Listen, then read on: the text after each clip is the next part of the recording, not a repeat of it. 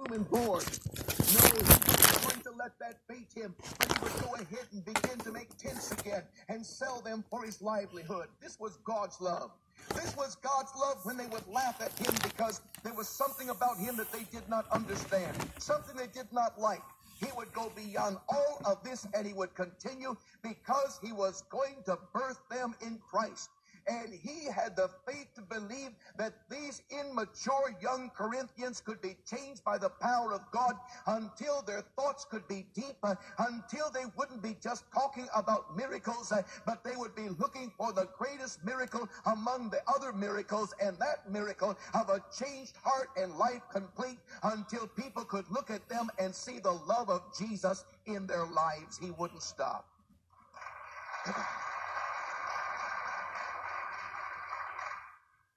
The Apostle Paul, he looked and he saw that it was a losing battle in many degrees. He saw the more that he loved, they loved less.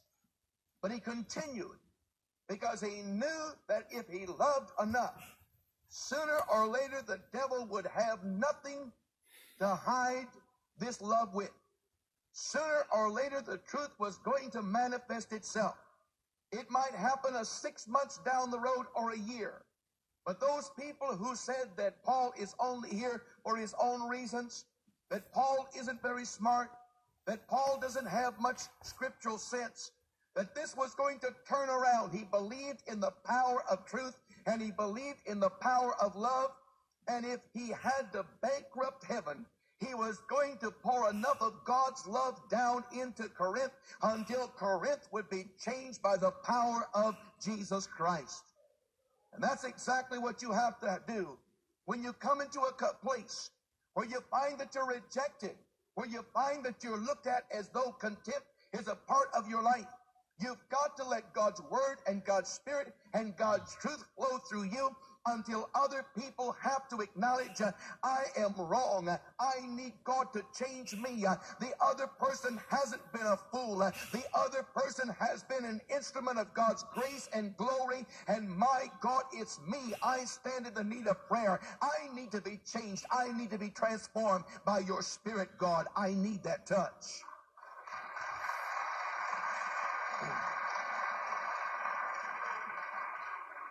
The Apostle Paul continued to pour out love until the contempt that he felt couldn't last any longer. The Apostle Paul continued to pour out love until the distortions that demon spirits had brought into the minds of others could not continue. He continued to pour out love until those who were deceived by the power of the enemy began to sense here's a man who's bigger than all of us put together and we've been making fools of him when it's us who needs to be free from foolishness. He ministered and ministered and ministered until truth began to reveal itself.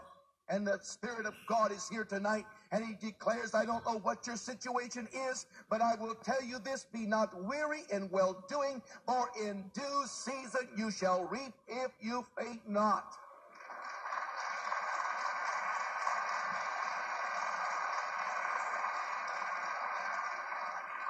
You can take Paul and you can beat him and you can stone him. You can laugh and you can jeer, but he's going to show up again. You can take Paul and you can laugh and ridicule and misunderstand him, but he's going to show up again. You can take Paul and you can leave him and go away and never come back again for a year but he's going to still be around. And sooner or later, you're going to understand that Paul wears you out because Paul has the spirit of Jesus and he doesn't get tired. He doesn't give up. He doesn't change. The unchanging power of Jesus is in his life. And sooner or later, you're going to be down somewhere and looking up and saying, Paul, I need you to help me. I've seen God work in your life.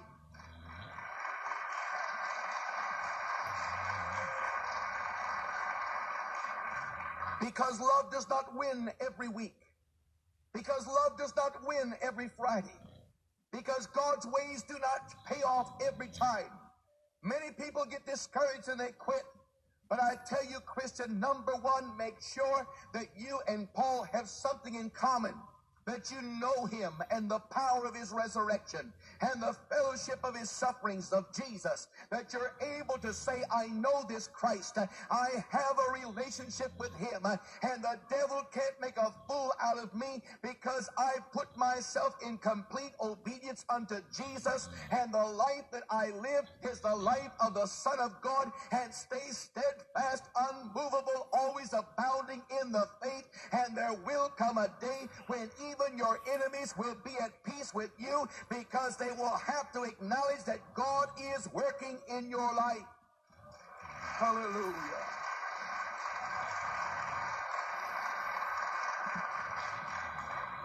The way to handle honest misunderstandings. And all of Corinth was honestly in their spirit, proud and arrogant, foolish as foolish can be. But they honestly felt they had it together. And they looked at the Apostle Paul and said, He's not together yet. And he was worth more than every one of them in his attitude and spirit and life. The way to handle it is to be true to God without wavering.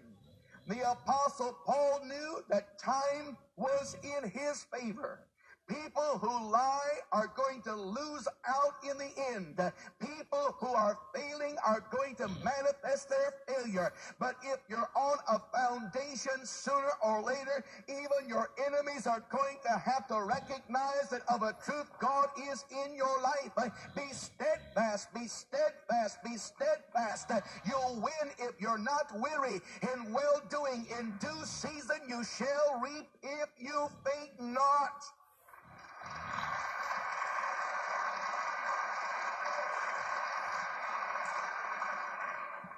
The Apostle Paul didn't always look exciting. Some ministries came along that seemed to be able to stir the people. And there were those who knew how to get response from men. And they used it far more than Paul. But Paul came not with the excellency of speech. It was not with enticing words of men's wisdom, but he came with the purity of the gospel.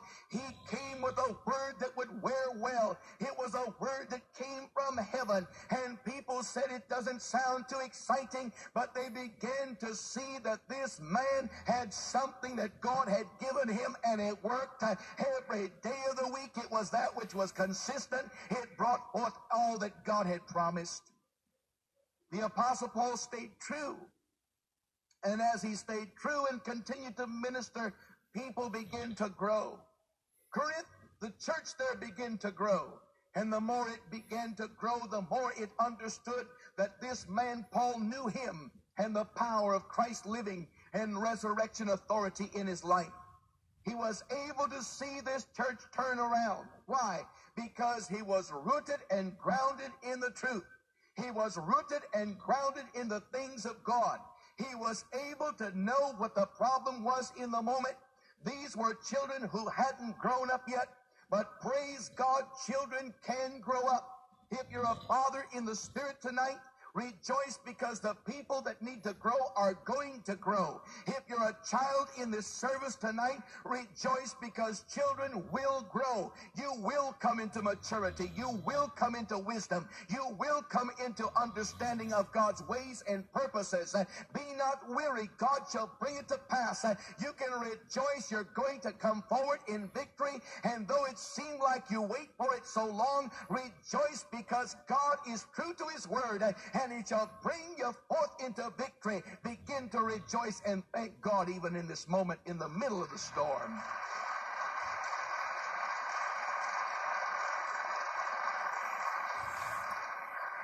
The apostle Paul looked at these people and he said, the more I love you, the less you love me. And the apostle Paul understood and didn't see it as some terrible thing, but he saw that it was childishness. Perhaps one of the biggest problems we have in the church is just old fashioned childishness. Sometimes I'd like to take a hold of some of you that I know a bit, grab you and shake you good, and say, Come on, grow.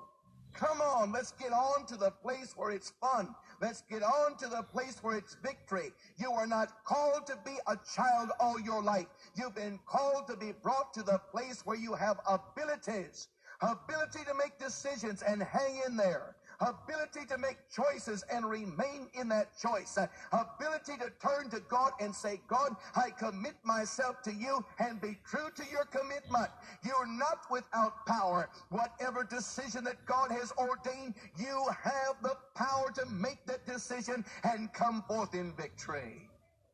One of the problems, though, that children have is that often they, in their childishness, smart from their immaturity, and they want to grow up, and so they begin to challenge the parents because they're in that in-between place where that they're not mature enough to be an adult and they aren't able to stay as a child because there's signs of stirrings inside that said you too are meant to come to victory. And so they begin to challenge the parents, their authority. They begin to challenge the parents' wisdom. Don't you challenge God's authority and wisdom, but begin in this moment to say, I know what's stirring inside of me. God is calling me to maturity. And instead of copping out by blaming other people or blaming leadership, I'm going to seek the face of God. I'm going to begin to pray. I'm going to get into God's word. I'm going to rejoice and I'm going to exercise hope that is mine, that God has said it. It's my joy this moment to believe that God calls all of his children to maturity, that not one person is meant to remain a child. Not one. The only thing that makes us stay a child is pride. The pride in our rebellion, the pride in our mocking other people, the pride that we have in having disgust for others. These things will leave us in the bondage of childishness. It'll leave us in immaturity and sin. But the moment we begin to sense how wonderful God is, and everything that I have is merely from God a gift, and that I don't have to build myself up, neither do I have to knock others down, but I can share with people. I too see the stirrings of God in my life. And what I find within, it's the Lord's doing and it's marvelous. And because I see it in my life and I don't need to have it all by myself, I can look and see God doing something in your life. And what God is doing in your life, I rejoice with too. I rejoice in that. Stand with me in the service. Let's cover a few points before we bring the service to a close. Number one, Whatever you've gotten from God has not been because you have been clever or dedicated or anything else. It's merely that God is good.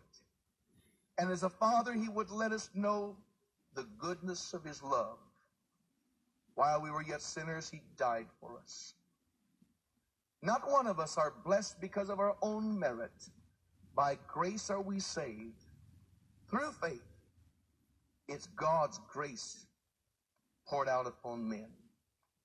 And next to that, we can thank God that He participates in all of humanity with stirrings to bring us to maturity. And as long as we're willing to be humble before Him, we'll see God changing us, rearranging us, and transforming us into His likeness, His love. I encourage every one of you today to take the things of God with gratitude, to thank God for His mercy, to praise God for His kindness. Don't take it for granted. Don't sneer at God, but thank Him for His goodness. I encourage you to do that, to let God move in your life. I encourage you today to understand that the love of God is to pour out upon you every good gift not to absorb you, but to equip you. For God's will is not to take what's yours, but He wants you. And He wants to have a relationship with you.